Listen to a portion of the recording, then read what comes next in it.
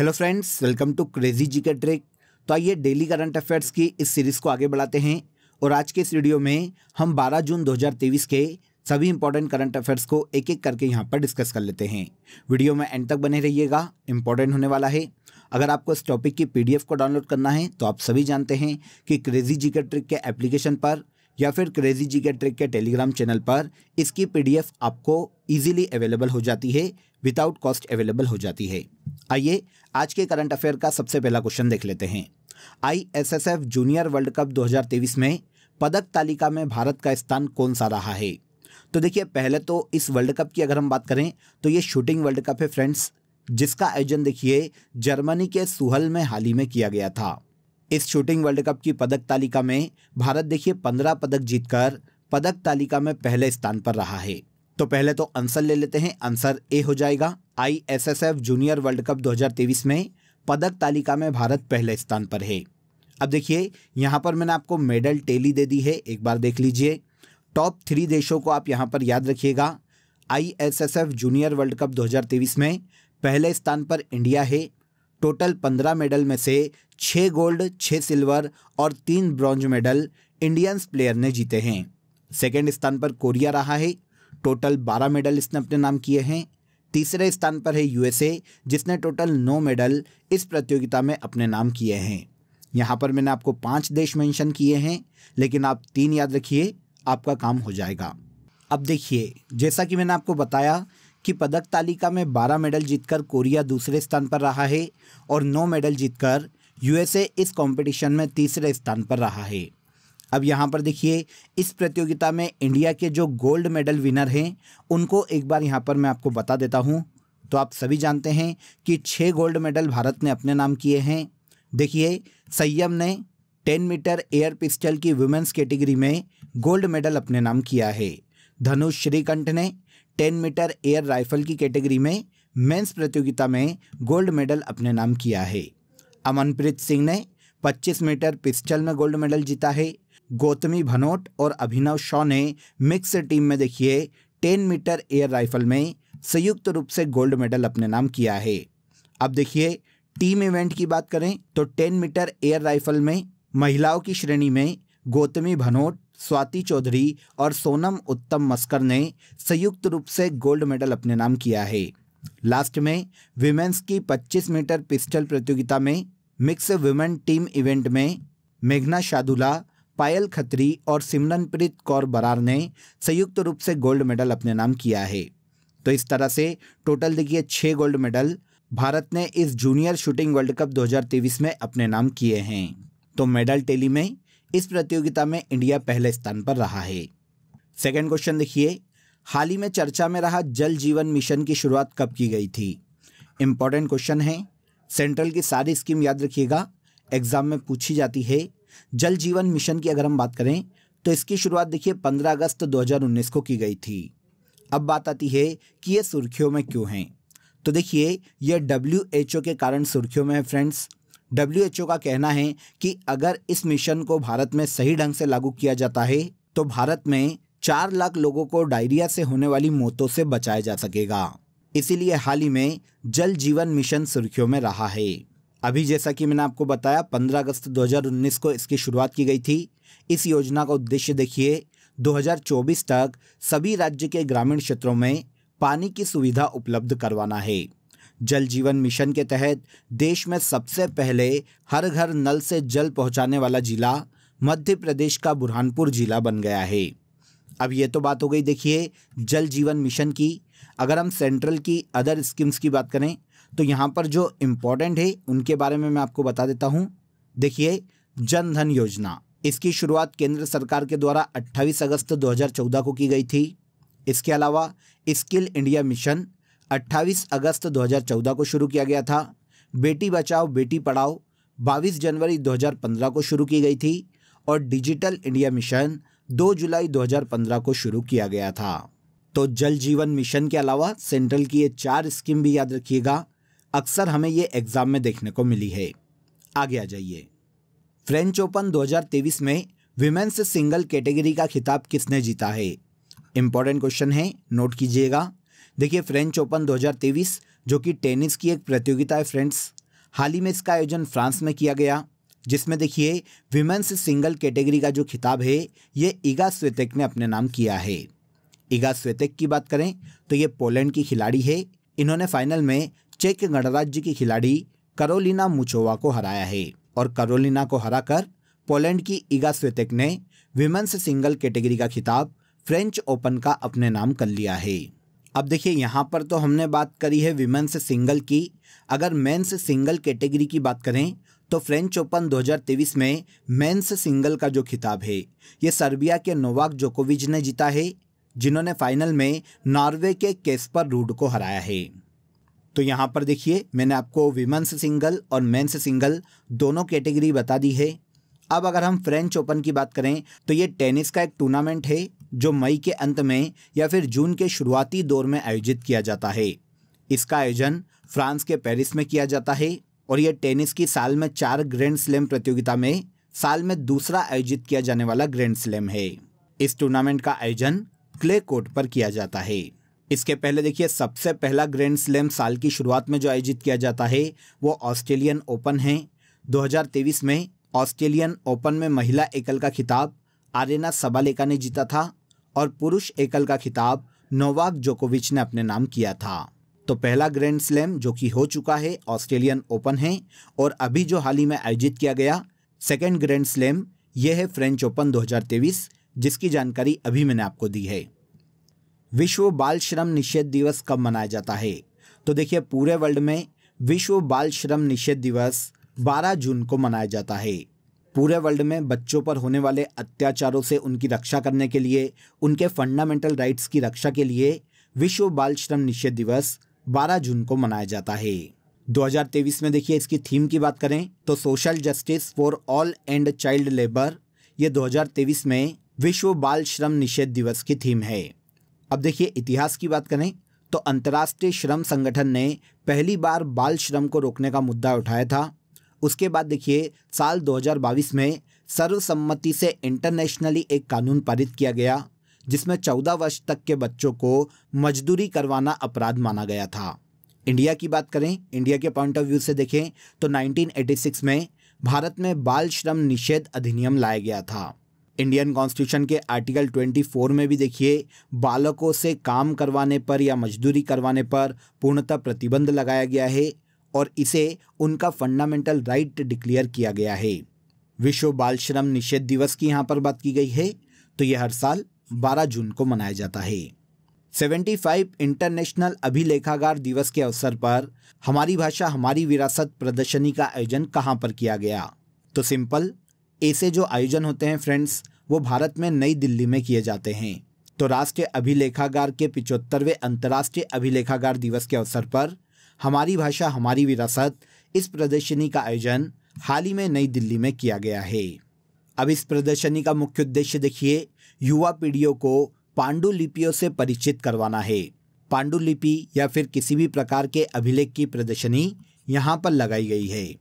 अब देखिए, राष्ट्रीय अभिलेखागार की बात करें, अगर हम इसकी बात करें कि ये क्या है तो देखिए, राष्ट्रीय अभिलेखागार की स्थापना 11 मार्च अठारह को कलकत्ता में इम्पीरियल रिकॉर्ड विभाग के रूप में की गई थी।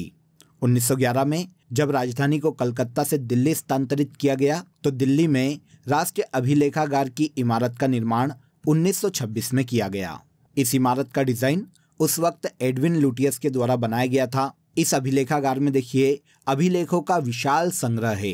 राष्ट्रपति द्वारा स्वीकृत विधेयक, दुर्लभ प्राचीन ऐतिहासिक पांडुलिपि, निजी कागजात, जो सरकार के राजपत्र होते हैं, जनगणना के जो अभिलेख होते हैं, या फिर संसद विधानमंडल में जो बहस होती है, उन सभी के प्रमाण हमें इस अभिलेखागार में देखने को मिलते हैं। हाल ही में चर्चा में रहा सागर समृद्धि का संबंध किस मंत्रालय से है? तो देखिए, सागर समृद्धि जब आप नाम पढ़ेंगे तो आपको समझ में आ जाएगा कि ये पत्तन पोत परिवहन और जलमार्ग मंत्रालय की एक परियोजना है। आंसर ए हो जाएगा। हाल ही में भारत के जलमार्ग मंत्री सर्बानंद सोनेवाल ने सागर समृद्धि ऑनलाइन ड्रेजिंग निगरानी प्रणाली की शुरुआत की है। अब एक्चुअल में ये जो मॉनिटरिंग प्रणाली है, ये है क्या? तो देखिए फ्रेंड्स, सागर समृद्धि एक ऑनलाइन ड्रेजिंग मॉनिटरिंग सिस्टम है। जिसका उद्देश्य भारत के पत्तन, पोत परिवहन और जलमार्ग मंत्रालय के वेस्ट टू वेल्थ अभियान को गति प्रदान करना है। देखिए, इस मॉनिटरिंग सिस्टम का प्रयोग पहले से ही कोचिंग पोर्ट और मुंबई पोर्ट के द्वारा किया जा रहा है। न्यू मैंगलोर पोर्ट और दीनदयाल पोर्ट पर अभी यह परीक्षण की स्थिति में है, परीक्षण के स्तर पर है। बहुत जल्दी इस सिस्टम को यहाँ पर भी लागू किया जाने वाला है। अब एक्चुअल में ये ड्रेजिंग मॉनिटरिंग सिस्टम है क्या? या फिर ड्रेजिंग होता क्या है? तो देखिए फ्रेंड्स नदी, नहर या फिर समुद्र में जो जमा कीचड़ है, उसको विशेष मशीनों के माध्यम से साफ़ किया जाता है। इसी प्रक्रिया को ड्रेजिंग प्रक्रिया कहा जाता है। समुद्र तटों पर जहाज़ों के सुगम परिवहन के लिए लगातार ड्रेजिंग की ज़रूरत पड़ती है। समुद्र को निचले स्तरों से साफ़ करने की ज़रूरत पड़ती है। तो इसी के लिए हाल ही में ड्रेजिंग मॉनिटरिंग सिस्टम को लॉन्च किया गया है। State of India environment 2023 report के अनुसार पर्यावरण मामले में प्रथम स्थान पर कौन सा राज्य रहा है? तो देखिए, पहले तो ये जान लेते हैं कि इस रिपोर्ट को जारी किसके द्वारा किया जाता है।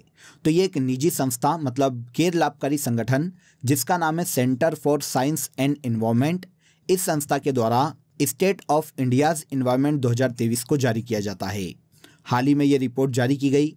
जिसमें देखिए इन्वायरमेंटल परफॉर्मेंस की ऑल ओवर कैटेगरी में तेलंगाना राज्य को बेस्ट राज्य माना गया है। आंसर ए हो जाता है। State of India environment 2023 report के अनुसार अच्छे इन्वायरमेंट के मामले में देश में तेलंगाना प्रथम स्थान पर है। देखिए ये जो रिपोर्ट है, इसमें पर्यावरण के सभी पहलुओं को शामिल किया जाता है। जैसे जलवायु कैसी है, मौसम कैसा है, कृषि कितनी उन्नत है, अवशिष्ट प्रबंधन कितना अच्छा किया जा रहा है, इन सभी पहलुओं को इस रिपोर्ट में सम्मिलित किया जाता है।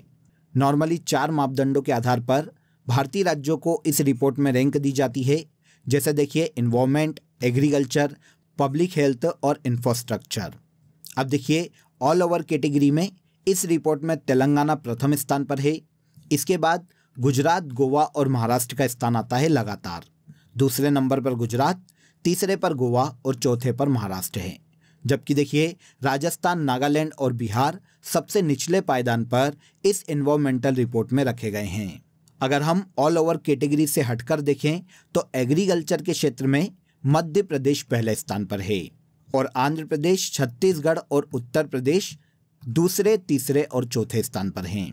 लेकिन यहाँ पर हमको ओवरऑल कैटेगरी की ज़रूरत पड़ेगी तो ओवरऑल इन्वायरमेंटल परफॉर्मेंस के मामले में तेलंगाना इस रिपोर्ट में पहले स्थान पर है। इसे याद रखिएगा, काम हो जाएगा।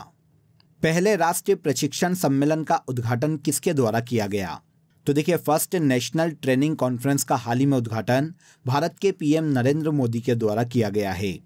हाल ही में देखिए 11 जून 2023 को नई दिल्ली के प्रगति मैदान में भारत के पीएम नरेंद्र मोदी ने देश के पहले नेशनल ट्रेनिंग कॉन्फ्रेंस का उद्घाटन किया है।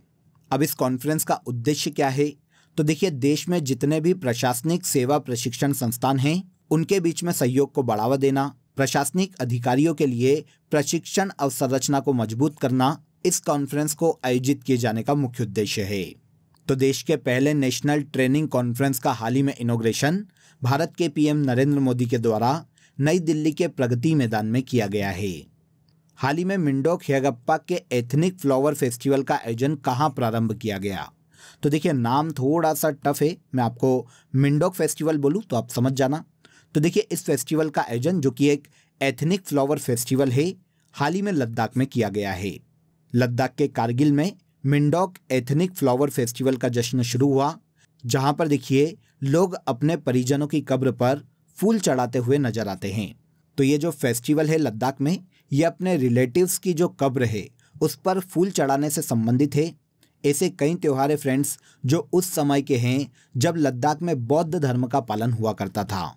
ऐसा ही एक त्यौहार जो कि बौद्ध धर्म से संबंधित है, इसे मिंडोक एथनिक फ्लावर फेस्टिवल या फिर फूलों का त्यौहार भी कहा जाता है। नॉर्मली देखिए, गुरुवार और शुक्रवार के दिन पहाड़ों से फूल तोड़कर लाते हैं ये लोग और अपने रिलेटिव्स की आत्मा की शांति के लिए उनकी कब्रों पर फूल चढ़ाए जाते हैं।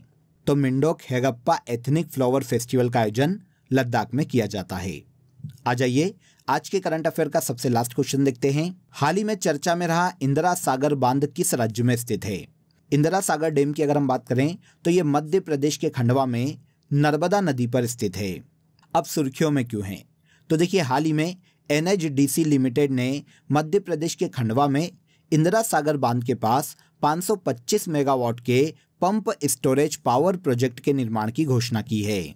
इसके लिए देखिए इंदिरा सागर परियोजना के जितने भी जलाशय हैं और ओमकारेश्वर का जो जलाशय है एमपी के खंडवा ज़िले में, वहाँ से पानी का इस्तेमाल किया जाएगा। ये जो योजना है एमपी में देखिए पीक आवर में जो इलेक्ट्रिसिटी की डिमांड बढ़ती है, उससे निपटने के लिए शुरू की गई है। देखिए, मध्य प्रदेश के इस 525 मेगावाट के पावर प्रोजेक्ट के निर्माण में लगभग बयालीस करोड़ रुपए की लागत आने का अनुमान है। तो ये जो पंप स्टोरेज पावर प्रोजेक्ट है ये इंदिरा सागर डैम के पास लगाया जाएगा, जो कि मध्य प्रदेश में नर्मदा नदी पर स्थित है। ओके? तो यहाँ पर देखिए हमने 12 जून 2023 के सभी करंट अफेयर्स को एक एक करके डिस्कस कर लिया। अब आ जाइए आज की फैक्ट शीट में हम पुरस्कारों को, अवार्ड्स को आगे बढ़ाते हैं, जो कि हमने कल की फैक्ट शीट में भी डिस्कस किए थे। तो पहला देखिए न्यूयॉर्क टाइम्स को अंतर्राष्ट्रीय रिपोर्टिंग के लिए हाल ही में पुलित्जर पुरस्कार 2023 से सम्मानित किया गया है। प्रोफेसर जयंत विष्णु नालिकर को एस्ट्रोनॉमिकल सोसाइटी ऑफ़ इंडिया का पहला Govind Swarup life time achievement award से सम्मानित किया गया है। इसके बाद देखिए, एन चंद्रशेखरन को फ्रांस के सर्वोच्च नागरिक सम्मान Chevalier de la Legion d'honneur से सम्मानित किया गया। आगे आ जाइए, सलमान रुश्दी को पेन शताब्दी साहस पुरस्कार प्रदान किया गया है। हाल ही में भारत के पीएम नरेंद्र मोदी को पापुआ न्यूगिनी ने अपने देश के सर्वोच्च नागरिक सम्मान, companion of the order of Logohu से सम्मानित किया है। बुल्गारिया के लेखक जॉर्जी गोस्पोडिनोव और अनुवादक एंजेला रोडेल के उपन्यास टाइम शेल्टर को अंतर्राष्ट्रीय बुकर पुरस्कार दिया गया है। विश्व प्रसिद्ध कोकर्णी लेखक दामोदर मावजो को देखिए 27 मई को गोवा में भारतीय ज्ञानपीठ पुरस्कार से सम्मानित किया गया है।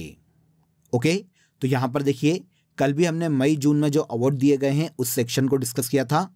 आज ये हमने उसका दूसरा पार्ट डिस्कस किया है। अब आ जाइए, हम लास्ट डे के करंट अफेयर को एक बार यहाँ पर जल्दी से रिवाइज कर लेते हैं। पहला देखिए मिस वर्ल्ड 2023 का आयोजन 2023 में भारत में किया जाने वाला है।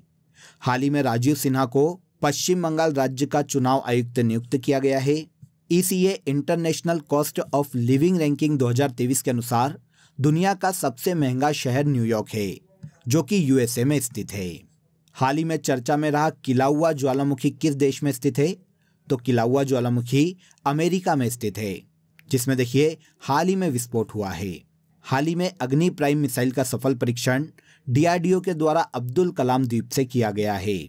युगांडा में भारतीय उच्चायुक्त उपेंद्र सिंह रावत नियुक्त किए गए हैं। हाल ही में भारत के बाकन जगदीश सुधाकर को यूनेस्को का मिशेल बेटिस अवार्ड दिया गया है। प्रथम वैश्विक आर्टिफिशियल इंटेलिजेंस सम्मेलन की मेजबानी ब्रिटेन के द्वारा की जाएगी। बिम्स्टेक एनर्जी सेंटर की स्थापना कहाँ की जाएगी? तो बिम्स्टेक एनर्जी सेंटर की स्थापना इंडिया में की जाने वाली है।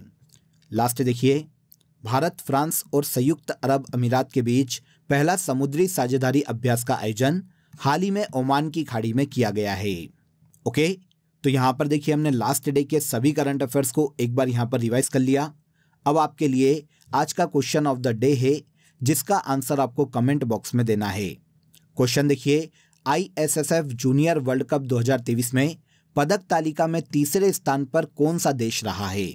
आज ही के सेशन में हमने इसे डिस्कस किया है। मैंने आपको बोला था टॉप थ्री देश याद रखिएगा। तो आपको कमेंट बॉक्स में बताना है कि पदक तालिका में तीसरे स्थान पर कौन सा देश है। आई होप सेशन अच्छा लगा होगा। वीडियो पसंद आया हो तो वीडियो को लाइक और शेयर कर दीजिए। चैनल को सब्सक्राइब कर लीजिए। कल फिर मुलाकात करेंगे नेक्स्ट डे के करंट अफेयर में। तब तक अपना ख्याल रखिए। जय हिंद, जय भारत।